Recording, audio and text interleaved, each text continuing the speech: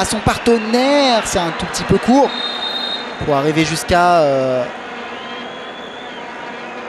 jusqu'à Abdeladim Kadrouf, joueur dont on vous a parlé tout à l'heure, sélectionné, nominé parmi les 24 joueurs de l'année basée au Maroc. Un coup franc signalé par l'arbitre. Un coup et, forcément hein, dans, des matchs serrés comme ceux-ci, un coup de pied arrêté, c'est forcément l'opportunité de, créer le danger et d'apporter quelque chose, de créer un décalage, de créer un danger. C'est peut-être maintenant pour les Marocains. Le coup franc, il est parti. Et la bonne intervention des deux points de Bitseki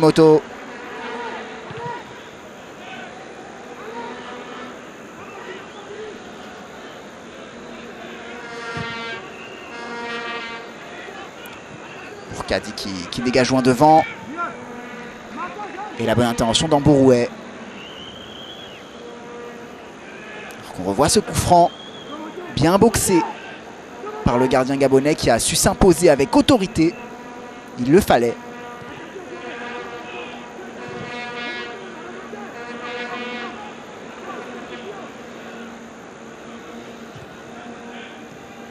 bonne sortie, bonne sortie la part de Munduga.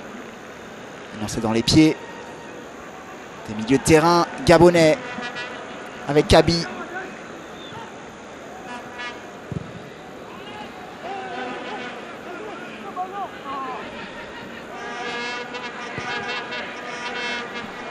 qui revient dans les pieds du portier gabonais Bitsekimoto.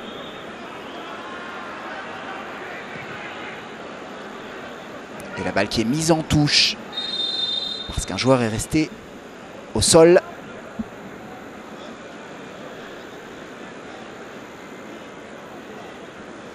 un joueur est visiblement resté au sol.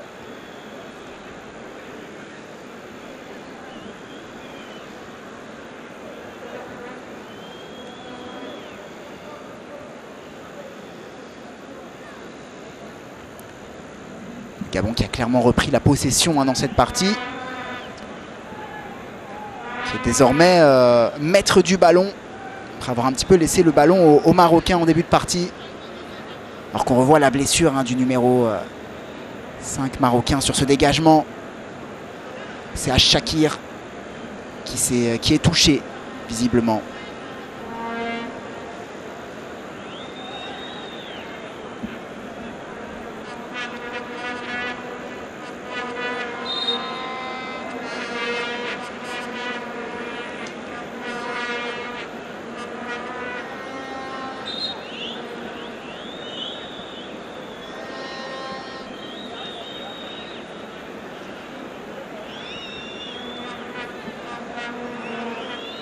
Allez, 5 minutes à jouer dans cette première mi-temps.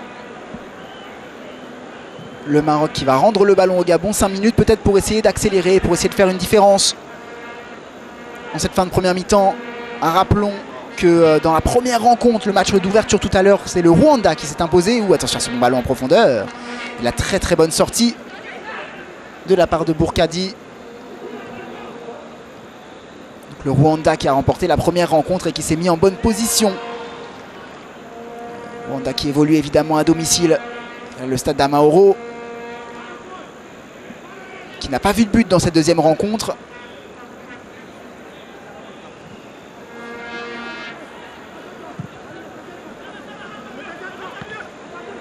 Jeu de la part de euh, Sadan qui a orienté le jeu sur le côté droit. le Maroc, euh, comme le Gabon, qui vont devoir vraiment accélérer hein, s'ils veulent vraiment euh,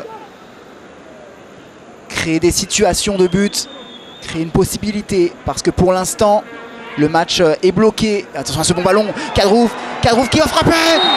Oh là, quelle occasion Quelle occasion pour le Maroc. Mais il y avait visiblement... Euh, cru, entendre, cru entendre un coup de sifflet. il n'y avait rien visiblement. Hein. Euh, c'était bien une occasion de but. Quelle occasion avec cette frappe croisée qui longe la ligne. Un bon ballon en profondeur, le contrôle et la frappe enchaînée. C'est la première grosse occasion de ce match. Et non, le coup de sifflet qu'on avait entendu était venu des tribunes. Mais voilà une occasion qui pourrait euh, à la fois réveiller le stade d'Amaoro et puis euh, réveiller les velléités offensives de ces deux formations.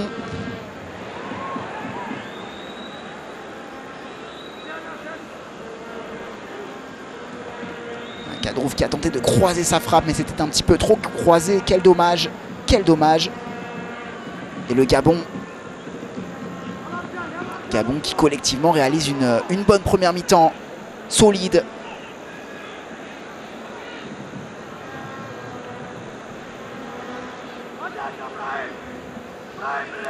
On voit cette intervention de Nakash.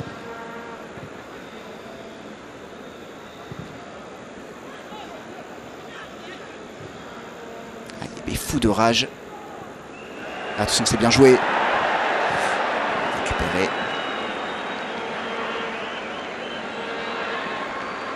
Rafidi. Ah, Moubarak. Mobaraki qui a qui tient un ballon El Mobaraki qui transmet derrière avec Sadan.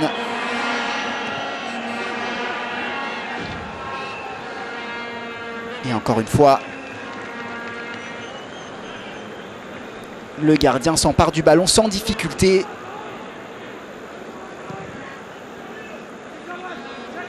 Et la bonne relance, on joue direct sur Yakuya. Le ballon qui euh, termine en touche pour le Gabon. Plus que deux minutes dans cette première période. Sera suffisant pour assister à une nouvelle occasion de but. Pour l'instant, il n'y en a eu qu'une dans cette première période. C'était cette frappe croisée de Kadrouf qui a longé la ligne de but gabonaise. Autrement, on assiste à une confrontation entre deux équipes bien en place. Notamment une équipe du Gabon euh, qui donne des gages euh, de solidité dans cette première période.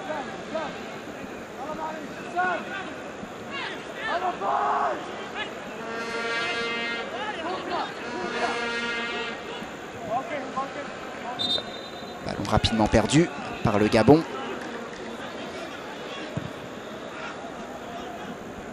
Et c'est Bourkadi qui va pouvoir relancer.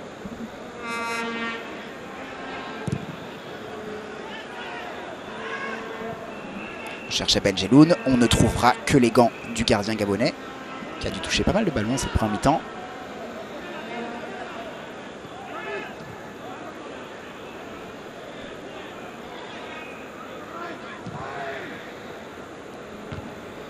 Une statistique qui en dit long. Qui a touché 32 ballons.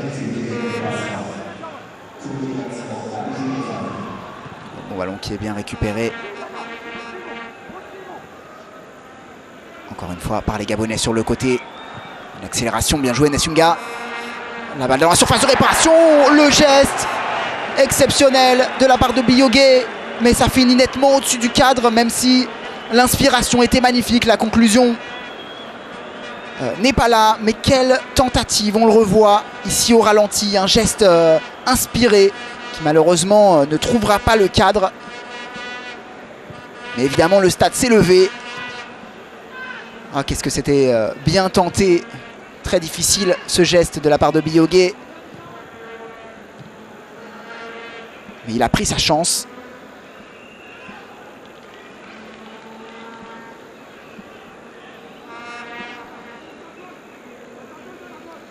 Touche pour le Maroc désormais.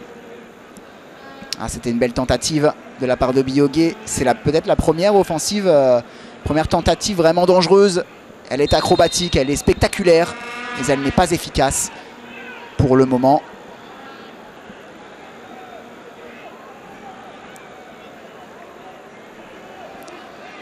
C'est un coup franc pour Benjeloun qui a été sifflé, même si euh, a l'air touché. Knox Nesyunga.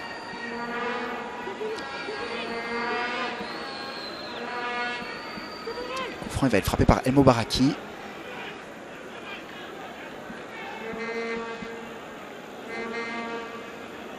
Est-ce qu'on aura le temps de le tirer Peut-être une euh, dernière opportunité de créer le danger sur le but gabonais. C'est parti, El Mobaraki, la déviation de la tête. Finalement sans danger